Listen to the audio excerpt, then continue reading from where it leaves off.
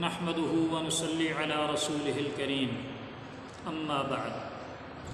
محترم ناظرین، سامعین، نماز میں سینے پر ہاتھ باندھنا کیا صحیح حدیث سے ثابت ہے؟ تو اس کا جواب یہ ہے کہ ثابت نہیں ہے۔ یعنی جو حضرات نماز میں سینے پر ہاتھ باندھنے کے قائل ہیں اور فاعل ہیں ان کا یہ عمل صحیح حدیث سے ثابت نہیں ہے۔ تو آخر کوئی تو ان کے پاس دلیل ہوگی جس کو سامنے رکھ کر وہ سینے پر ہاتھ باندھتے ہیں۔ جی ہاں ان کے پاس ایک دلیل ہے، لیکن وہ انتہائی ضعیف روایت ہے۔ اسی لیے وہ دلیل یا وہ حدیث یا وہ روایت سہائے ستہ میں سے کسی کتاب میں بھی نہیں ہے۔ یعنی سینے پر ہاتھ باندھنے کی حدیث بخاری، مسلم ترمیزی ابو داود، نسائی، ابن ماجہ میں نہیں ہے۔ اسی طرح اور بھی معروف کتب کے اندر سینے پر نماز میں سینے پر ہاتھ باندھنے والی کوئی روایت نہیں ہے۔ ہاں صحیح ابن خزیمہ حدیث کی کتاب ہے۔ اس کے اندر یہ روایت ضرور موجود ہے، لیکن یہ روایت ضعیف ہے انتہائی درجے آئیے اس کی تھوڑا تحقیق کرتے ہیں۔ پہلے تو یہ سمجھ لیں کہ جتنے بھی اہل حدیث، علماء، محققین ہیں، وہ اسی صحیح ابن خزیمہ کی روایت کو ہی مرکزی دلیل بناتے ہیں۔ چنانچہ آپ ان کی کتاب کی نمازیں، نماز کی کتابیں اٹھا کر دیکھ لیں تو اس میں یہی مرکزی دلیل ملے گی سینے پر ہاتھ باندھنے کے لیے۔ جیسا کہ ڈاکٹر سید شفیق الرحمان صاحب انہوں نے نماز کی کتاب لکھی ہے، نماز نبوی۔ تو اس کے اندر سینے پر ہاتھ باندھنے کا ذکر کرتے ہوئے وہ صحیح ابن خزیمہ کی روایت کو ہی لائے ہیں۔ اسی طرح عبد الرحمن عزیز ہیں، اہل حدیث محقق۔ انہوں نے نماز پر کتاب لکھی ہے صحیح نماز نبوی کے نام سے۔ تو اس میں سینے پر ہاتھ باندھنے کا ذکر کرتے ہوئے یہی صحیح ابن خزیمہ کی روایت کو ہی انہوں نے بیان کیا ہے۔ ایسے ہی حافظ زبیر علی زئی صاحب ہیں، انہوں نے کتاب لکھی، انہوں نے تو مستقل خود ہاتھ باندھنے پر کتاب لکھی ہے۔ اور اس کتاب کا نام ہے نماز میں ہاتھ باندھنے کا حکم اور مقام۔ انہوں نے بھی صحیح ابن خزیمہ کی اسی روایت کو دلیل بنایا ہے۔ ایسے ہی حافظ صلاح الدین یوسف ہیں، انہوں نے نماز کی کتاب لکھی ہے نماز مسنون۔ تو اس میں انہوں نے بھی اسی روایت کو دلیل بنایا ہے۔ اور مبشر احمد ربانی نے نماز کی کتاب لکھی ہے، نماز کیسے پڑھیں؟ تو اس میں بھی سینے پر ہاتھ باندھنے کے لیے اسی صحیح ابن خزیمہ کی روایت کو ہی دلیل بنایا گیا ہے۔ تو جتنے بھی اہل حدیث، حضرات، مصنفین، محققین ہیں، تو نماز میں سینے پر ہاتھ باندھنے کے لیے وہ صحیح ابن خزیمہ کی اسی روایت کو دلیل بناتے ہیں۔ آئیے اس روایت کو دیکھتے ہیں اور پھر اس پر تحقیق کرتے ہیں، اس کے راویوں کے حالات کو دیکھتے ہیں۔ پہلے اس حدیث کو آپ سن لیجیے۔ چنانچہ صحیح ابن خزیمہ کے اندر حدیث موجود ہے۔ حدثنا ابو موسیٰ، قال حدثنا مؤمل، قال حدثنا سفیان عن عاصم بن قلیب عن ابیہ عن وائل بن حجر، قال صلیت مع رسول اللہ صلی اللہ علیہ وسلم ووازع يده اليمنى على يده اليسرى على صدره۔ یعنی حضرت وائل بن حجر رضی اللہ تعالیٰ عنہ کہتے ہیں کہ میں نے رسول اللہ صلی اللہ علیہ وسلم کے ساتھ نماز پڑھی تو آپ صلی اللہ علیہ وسلم نے اپنے دائیں ہاتھ کو اپنے بائیں ہاتھ پر رکھا اور پھر سینے پر باندھا یعنی دائیں ہاتھ کو بائیں ہاتھ پر رکھ کر دونوں ہاتھوں کو سینے پر باندھا۔ لیکن یہ روایت ضعیف ہے سند کے اعتبار سے انتہائی طور پر، چنانچہ شیخ ناصر الدین البانی رحمۃ اللہ علیہ اسی حدیث کو بیان کرنے کے بعد فوراً ہی لکھتے ہیں۔ قال البانی اسناد ضعیف۔ شیخ البانی کہتے ہیں کہ اس کی اسناد ضعیف ہے لأن مؤملا وهو ابن اسماعیل سی الحفظ۔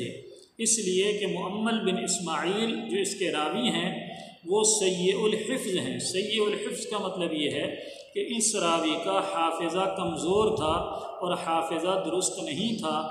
بات ان کو یاد نہیں رہتی تھی۔ تو جس کا حافظہ کمزور ہو، بات یاد نہ رہتی ہو سی الحفظ ہو، اس کی روایت کیسے قوی ہو سکتی ہے، کیسے صحیح ہو سکتی ہے، اس کی روایت ضعیف ہی شمار ہوگی۔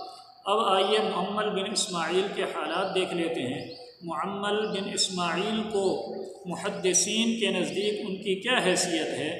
ان کی حیثیت جاننے کے بعد ہر آدمی خود معلوم کر لے گا کہ معمل بن اسماعیل سے روایت کرتا حدیث کہاں تک درست یا صحیح ہو سکتی ہے۔ چنانچہ یہ اسماء الرجال کی کتاب ہے میزان الاعتدال۔ حافظ شمس الدین ذہبی کی مشہور کتاب ہے۔ اس کے اندر لکھتے ہیں معمل کے بارے میں۔ معمل بن اسماعیل، یہ معمل بن اسماعیل ہیں، ان کے بارے میں ائم فن کیا کہتے ہیں؟ قال ابو حاتم، صدوق شدید فی سنت کثیر الخط یعنی امام ابو حاتم کے نزدیک معمل بن اسماعیل اگرچہ صدوق اور شدید فی سنہ ہے لیکن اس کے ساتھ ساتھ کثیر الخط یعنی کثیر الخط اکثر غلطیاں کرتے تھے۔ وقال البخاری، منکر الحدیث۔ امام بخاری رحمۃ اللہ علیہ کہتے ہیں کہ معمل بن اسماعیل منکر الحدیث تھے منکر الحدیث کا مطلب حدیث کا انکار کرنے والا نہیں ہوتا، بلکہ منکر حدیث کی ایک قسم ہے، ضعیف حدیث کی ایک قسم ہے۔ تو امام بخاری کہہ رہے ہیں کہ معمل بن اسماعیل یا معمل بن اسماعیل دونوں لفظ استعمال ہوتے ہیں، زیادہ معمل ہوتا ہے۔ تو معمل یا معمل بن اسماعیل یہ منکر روایتیں لاتے تھے۔ یعنی ضعیف حدیث من چلیے یہ بتا دیتا ہوں منکر روایت کس کو کہتے ہیں۔ منکر حدیث یا منکر روایت اس روایت کو کہتے ہیں کہ جس میں راوی خود ضعیف ہے یعنی معمل بن اسماعیل خود ضعیف۔ اور پھر جن راویوں سے وہ روایت کر رہے ہیں وہ وہ جو سیتا راوی ہیں، سیتا راوی روایت کو اور طرح سے بیان کریں اور یہ ضعیف راوی ان سیتا راویوں کی مخالفت کرے اور حدیث یا روایت کو دوسرے انداز سے بیان کرے تو ایسی روایت کو یا ایسی حدیث کو منکر حدیث کہتے ہیں اور یہ ضعیف میں شمار ہوتی ہے۔ تو امام بخاری کہتے ہیں کہ معمل بن اسماعیل منکر الحدیث تھے۔ وقال ابو ذرعہ فی حدیث ہی خطا کثیر۔ امام ابو ذرعہ کہتے ہیں کہ معمل کی احادیث میں خطائے کثیر پائی جاتی ہیں کثیر غلطیاں کرتے ہیں۔ اور معمل بن اسماعیل رمضان شریف سن دو سو چھ ہجری کو مکہ مکرمہ کے اندر فوت ہوئے۔ پھر آگے میزان الاعتدال یعنی علامہ شمس الدین ذہبی نے ایک مثال بھی دے دی محمل بن اسماعیل کی منکر حدیث کی۔ اور کہا کہ محمل بن اسماعیل حدثنا عکرمت بن عمار عن سعید المقبری عن ابی حریرت ان رسول اللہ صلی اللہ علیہ وسلم قال هدم المتعت الطلاق والعدت والمیراث. تو یہ حدیث لکھنے کے بعد یہ کہہ رہے ہیں حافظ ذہبی حاضہ حدیث منکر. کہ یہ حدیث منکر ہے، ضعیف ہے۔ تو معمل بن اسماعیل کی روایت کردہ جتنی روایات ہیں وہ صحیح کے درجے پر نہیں ہیں، نہ ہی حسن کے درجے پر ہیں۔ اس لیے کہ معمل کے بارے میں ائمہ فن نے کہا ہے کہ یہ معمل یہ کثیر الخطہ تھے اور سید الحفظ تھے اور منکر الحدیث تھے۔ تو ان سے روایت کردہ حدیث کیسے صحیح ہو سکتی ہے؟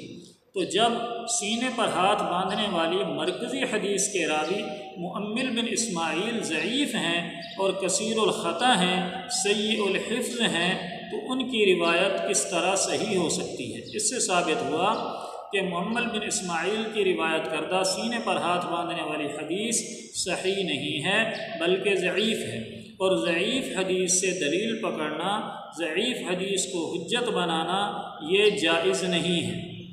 اچھا اب اس پر اہل حدیث حضرات کہتے ہیں کہ اگر معمل بن اسماعیل ضعیف ہیں سید الحفظ ہیں اور منکر الحدیث ہیں، تو امام بخاری نے اپنی صحیح بخاری میں ان سے احادیث کیوں لی؟ یہ ایک معقول سوال ہے۔ سوال کیا ہے؟ حافظ زبیر علی زئی صاحب نے بھی یہ سوال اپنی دو تین کتابوں کے اندر اٹھایا ہے کہ اگر معمل بن اسماعیل سید الحفظ تھے، کثیر الخطہ تھے، منکر الحدیث تھے تو امام بخاری رحمۃ اللہ علیہ نے اپنی جامع صحیح کے اندر، صحیح بخاری کے اندر تو تمام حدیث صحیح ہیں معمل بن اسماعیل سے حدیثیں کیوں لی ہیں؟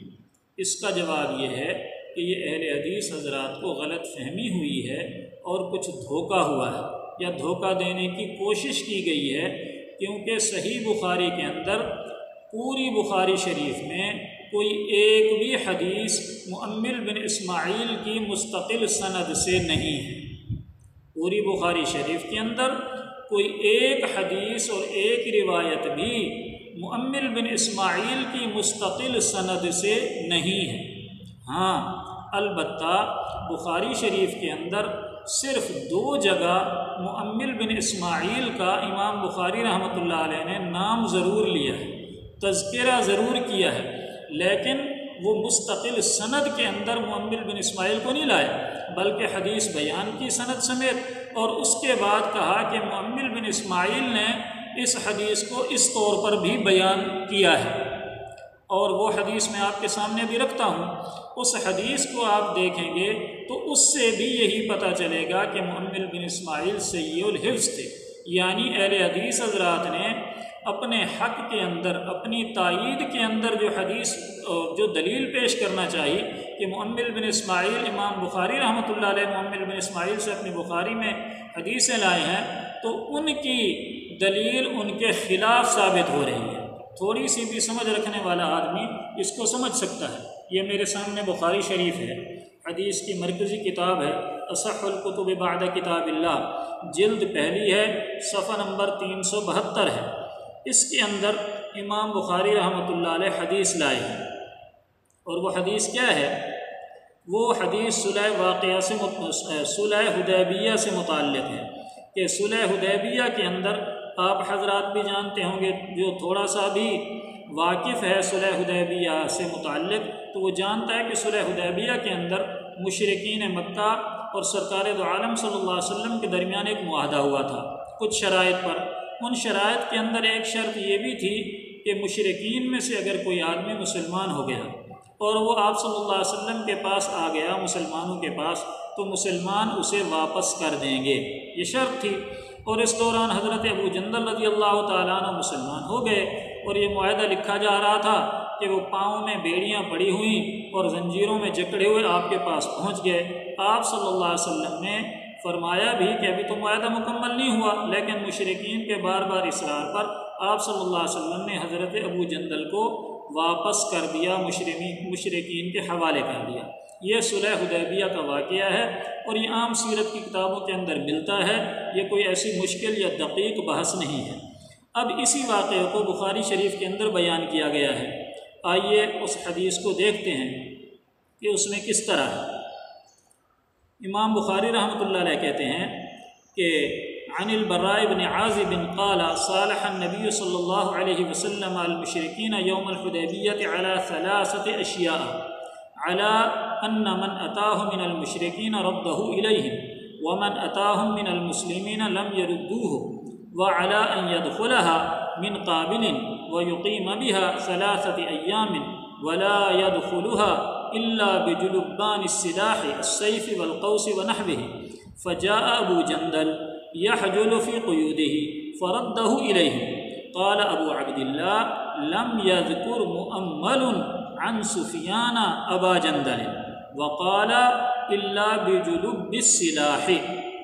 اب یہ حدیث شریف امام بخاری لائے ہیں اور امام بخاری رحمۃ اللہ علیہ کہتے ہیں کہ باقی جتنے راوی ہیں، ان راویوں نے دو چیزیں ذکر کی۔ ایک تو ابو جندل کا ذکر کیا راویوں نے، اور دوسرا یہ ذکر کیا کہ لا یا دخلحا اللہ بجلبان السلاح، کہ مسلمان آئندہ سال آئیں گے اور جب آئیں گے تو اپنے ساتھ ہتھیار نہیں لائیں گے۔ ہاں جو ضروری ہتھیار ہیں، جیسے تلوار ہے یا تیر ہے، راستے میں ضرورت پڑتی ہے، تو ان کو جلوبان کے اندر ڈال کر لائیں گے۔ جلوبان سے کیا مراد ہے؟ جلوبان سے مراد چمڑے کا تھیلا ہے کہ اس کے اندر تلواریں اور نیزے اور دیگر ضروری ہتھیار ڈالے ہوں گے یعنی نیام سے باہر نکال کر وہ ہتھیار نہیں لائیں گے۔ اب امام بخاری رحمۃ اللہ علیہ کہتے ہیں کہ باقی جتنے راوی ہیں، انہوں نے ابو جندل کا بھی ذکر کیا ہے اور جو لبان کا لفظ بولا ہے۔ لیکن قال ابو عبداللہ ابو عبداللہ امام بخاری کی نیت ہے۔ امام بخاری نے کہا، لم یذکر مؤمل عن سفیان ابا جندل۔ کہہ رہے ہیں کہ معمل نے یا معمل نے دونوں طرح سے استعمال ہوتا ہے۔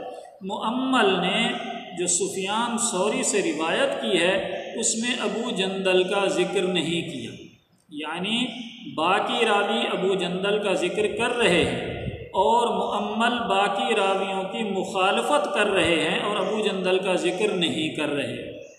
تو جو سیکا راوی روایت کریں اور ضعیف راوی ان راویوں کی روایت کرتا حدیث کی مخالفت کرے، اسے منکر حدیث کہتے ہیں۔ تو اس سے تو ہمارا ہی موقف ثابت ہو رہا ہے۔ کہ امام بخاری کے نزدیک معمل منکر الحدیث ہیں۔ تو امام بخاری کیا کہہ رہے ہیں؟ کہ معمل نے جو سفیان سے روایت کی، اس میں ابو جندل کا ذکر نہیں کیا، باقی راویوں نے ذکر کیا۔ ایک بات ہو گئی۔ دوسری بات، باقی جتنے راوی ہیں، وہ وہ جلوبان کا لفظ استعمال کر رہے ہیں۔ یعنی چمڑے کے تھیلے کو جلوبان کہتے ہیں۔ لیکن محمد بن اسماعیل نے جلوب کا لفظ استعمال کیا۔ وقال اللہ بے جلوب بس ہے تو باقی راویوں کی محمد بن اسماعیل یہاں بھی مخالفت کر رہے ہیں۔ باقی راوی کہہ رہے ہیں جلوبان الصلاح اور محمد کیا کہہ رہے ہیں؟ جلوب الصلاح اور اسی بخاری شریف کے پچھلے صفحے پر بھی یہی لفظ جلوبان موجود ہے۔ تو بخاری کا نام لے کر اہل حدیث حضرات نے دھوکہ دینا چاہا کہ اگر محمل ضعیف ہیں سید الحفظ ہیں، منکر الحدیث ہیں، تو امام بخاری نے اپنی بخاری میں ان سے حدیث کیوں لی؟ تو اس کا جواب یہ ہے کہ امام بخاری نے معمل سے استقلال سند کے ساتھ یعنی مستقل سند میں معمل کا ذکر نہیں کیا، بلکہ ایک حدیث بیان کر دی سند سمیت۔ اور اس کے بعد امام بخاری نے معمل کی دو خامیاں، دو کمزوریاں بتائیں کہ معمل ایک تو ابو جندل کا ذکر چھوڑ رہے ہیں، جو باقی راوی کر رہے ہیں، اور دوسرا باقی راوی جلوبان کہہ رہے ہیں، اور معمل کیا کہہ رہے ہیں؟ جلوب تو یہاں پر بھی معمل دوسرے راویوں کی مخالفت کر رہے ہیں۔ تو جب ضعیف راوی، سیکا راویوں کی مخالفت کرے، تو اس روایت یا اس حدیث کو کیا کہتے ہیں؟ منکر حدیث۔ تو اس سے ثابت ہوا کہ امام بخاری کے نزدیک معمل بن اسماعیل منکر الحدیث تھے۔ اسی طرح دوسری حدیث کی کتاب ہے ترمیزی شریف۔ تو آئیے دیکھتے ہیں امام ترمیزی کے نزدیک معمل کی کیا حیثیت ہے۔ تو امام ترمیزی رحمۃ اللہ علیہ، یہ ترمیزی ہے جلد ثانی ہے، ابواب الدعوات ہے۔ یعنی دعاؤں کا باب کہ اللہ کا ذکر کیسے کرنا ہے، اللہ سے دعا کیسے مانگنی ہے، کون سے الفاظ استعمال کرنے ہیں۔ اس کے اندر امام ترمیزی رحمۃ اللہ علیہ حدیث لائے۔ حدثنا محمد بن حاتم قال حدثنا أبو بدر، شجاع بن الوليد عن الرحيل بن معاوية أخي زهير بن معاوية عن الرقاشي عن أنس بن مالك قال كان النبي صلى الله عليه وسلم إذا قربه أمر قال يا حي يا قيوم برحمتك أستغيث امام ترمذی رحمۃ اللہ علیہ فرماتے ہیں کہ حضرت انس بن مالک رضی اللہ تعالیٰ عنہ سے روایت ہے کہ آپ صلی اللہ علیہ وسلم کو جب بھی کوئی مشکل کام پیش آتا تو آپ کیا فرماتے؟ یا حیو یا قیوم برحمت کا استغیث۔ پھر امام ترمیزی اسی کے متصل و بے اسناد ہی کہہ رہے ہیں کہ اسی صنعت کے ساتھ یعنی جو صنعت اس حدیث کی ہے، یا حیو یا قیوم والی کی اسی صنعت کے ساتھ قال قال رسول اللہ صلی اللہ علیہ وسلم، علی ذو بیاد الجلال والاکرام. امام ترمی کہتے ہیں کہ اسی صنعت کے ساتھ یہ بھی ہے کہ آپ صلی اللہ علیہ وسلم نے ارشاد فرمایا علیزو بیاض الجلال والاکرام. یعنی یاز الجلال والاکرام کو ثابت ثابت قدم رہو اس پر اور اس کو لازم پکڑو یعنی یاز الجلال والاکرام، یہ اللہ کا ذکر ہے تو اس کا ذکر بھی لازم پکڑ لو اور ضرور کیا کرو۔ اب یہ صنعت بھی امام ترمیزی نے بیان کر دی اور حدیث کے الفاظ بھی بیان کر دیے۔ آگے امام ترمذی کہتے ہیں حد ثنا محمود ابن غیلان حد ثنا معمل عن حماد بن سلمت عن حمید، عن انس یعنی امام ترمذی کہتے ہیں کہ ہم سے بیان کیا محمود بن غیلان نے اور محمود بن غیلان کہتے ہیں ہم سے بیان کیا محمد بن اسماعیل نے۔ انہوں نے روایت کیا حماد بن سلمہ سے۔ حماد بن سلمہ نے روایت کیا حمید سے اور حمید نے روایت کیا انس بن مالک رضی اللہ تعالی عنہ سے۔ اور حضرت انس بن مالک نے کہا کہ آپ صلی اللہ علیہ وسلم نے فرمایا علی زو بیاد الجلال والاکرام اب اس کے اندر امام ترمیزی رحمۃ اللہ علیہ کہہ رہے ہیں کہ یہ غلط ہے۔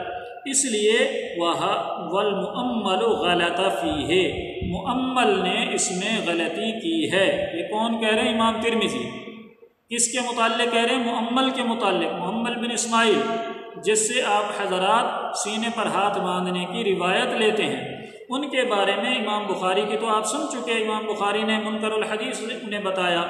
اور امام ترمیزی بھی کہہ رہے ہیں کہ ولمعمل و غلط افی ہے، کہ امام ترمیزی کہہ رہے ہیں محمل نے اس حدیث کی صنعت کے اندر غلطی کی ہے۔ فقال عن حمید عن انس۔ تو امام ترمی کہہ رہے ہیں کہ یہ جو محمل نے کہا عن حمید عن انس یعنی حمید نے روایت کیا انس بن مالک رضی اللہ تعالیٰ عنہ سے، یہ غلط ہے۔ کیوں غلط ہے؟ اس لیے کہ صحیح یہ ہے کہ حمید نے حضرت حسن بصری سے سنا۔ عن حماد بن سلمت عن حمید عن حسن البصری. حاضہ صح یعنی حماد بن سلمہ نے حمید سے اور حمید نے حسن بصری سے. حمید کا حسن بصری سے سننا یا روایت کرنا یہ تو ثابت ہے کیونکہ حمید یہ حسن بصری کے شاگرد تھے اور حسن بصری سے روایات لیتے تھے. اور حمید کا انس بن مالک رضی اللہ تعالیٰ روایت کرنا اگرچہ ثابت ہے، صرف تین احادیث ہیں جو حمید نے حضرت انس بن مالک سے روایت کی ہیں ورنہ انس بن مالک رضی اللہ تعالیٰ عنہ سے حمید کا باقی حدیث کا روایت کرنا ثابت نہیں ہوتا۔ تو حمید حسن بصری کے شاگرد ہیں۔ حضرت انس سے انہوں نے کم احادیث لیں، صرف تین احادیث لیے ہیں بقول میزان الاعتدال والے کے۔ تو یہاں پر بھی امام ترمیزی نے بھی محمل کو کیا کہا کہ محمل نے اس میں غلطی کی۔ اور امام بخاری رحمۃ اللہ علیہ نے کیا کہا کہ باقی راویوں کی محمل بن اسماعیل مخالفت کرتے ہیں۔ باقی راوی ابو جندل کے ذکر کرتے ہیں محمل ذکر نہیں کرتے۔ باقی راوی جلوبان کہتے ہیں محمل جلوبان کے بجائے جلوب کہتے ہیں۔ تو اور میزان الاعتدال کے اندر بھی ائمہ فن کے اقوال آ گئے کہ محمد بن اسماعیل سید الحفظ تھے، محمد بن اسماعیل منکر الحدیث تھے اور محمد بن اسماعیل کثیر الخطا تھے۔ تو ایسا راوی جو کثیر الخطا ہو سید الحفظ ہو، منکر الحدیث ہو، اس سے روایت کردہ حدیث کسی طور پر بھی قابل احتجاج نہیں ہوتی، اس کو دلیل نہیں بنایا جا سکتا، حتیٰ کہ علامہ ناصر الدین البانی، جن کی تحقیق پر اہل حدیث حضرات اعتماد کرتے ہیں، انہوں نے بھی کہہ دیا، وہ اسناد ضعیف کہ یہ محمد بن اسماعیل کی وجہ سے یہ اس حدیث کی صنعت انتہائی ضعیف ہے. اور اس کے بالمقابل۔ اب اگر کوئی کہے کہ جس سینے پر ہاتھ باندھنے کی حدیث تو ٹھیک ہے، نہیں ہے سیاہ ستہ کے اندر۔ تو ناف سے نیچے ہاتھ باندھنے کی کہاں سے ثابت ہے؟ تو بھائی میں اس کا اعتراف کرتا ہوں کہ ناف سے نیچے ہاتھ باندھنے کی حدیث سیاہ ستہ کے اندر نہیں ہے۔ جس طرح سینے پر ہاتھ باندھنے کی حدیث نہیں ہے۔ دیگر کتب حدیث کے اندر موجود ہے لیکن سیاہ ستہ کے اندر امام ترمزی رحمۃ اللہ علیہ نے صحابہ کا عمل ضرور نقل کیا ہے۔ اور صحابہ کا عمل کیا نقل کیا کہ ورا بعضهم یازعہما فوق سورہ امام ترمزی کہتے ہیں کہ صحابہ تابعین اور تبا تابعین میں سے بعض اس بات کے قائل تھے کہ آدمی نماز میں ناف کے اوپر یا ناف پر ہاتھ باندھے۔ ورا بعضهم یازعہما تحت سورہ اور بعض صحابہ تابعین اور تبا تابعین کی رائے یہ ہے کہ ناف سے نیچے ہاتھ باندھے۔ وکل و ظال کا واسع عندہم یا اوسع عندہم اور یہ اس مسئلے کے اندر سب کے نزدیک وسعت ہے۔ یعنی صحابہ، تابعین اور تبا تابعین، یا تو ناف کے اوپر ہاتھ باندھتے تھے، یا ناف سے نیچے ہاتھ باندھتے تھے۔ تیسرا کوئی عمل اور کوئی طریقہ صحابہ کرام کے اندر موجود نہیں تھا۔ اگر ہوتا تو امام ترمیزی رحمۃ اللہ علیہ اسے ضرور ذکر کرتے۔ اور سینے پر ہاتھ باندھنے والی حدیث کی روایت کی تحقیق میں محمد بن اسماعیل کے حالات آپ حضرات کے سامنے آ گئے۔ محمد بن اسماعیل کی وجہ سے یہ حدیث قابل احتجاج نہیں ہے، اس کو دلیل نہیں بنایا جا سکتا۔ اللہ تعالیٰ سے دعا ہے کہ اللہ تعالیٰ ہمیں اتباع نفس سے بچائے، فرقہ پرستی سے بچائے۔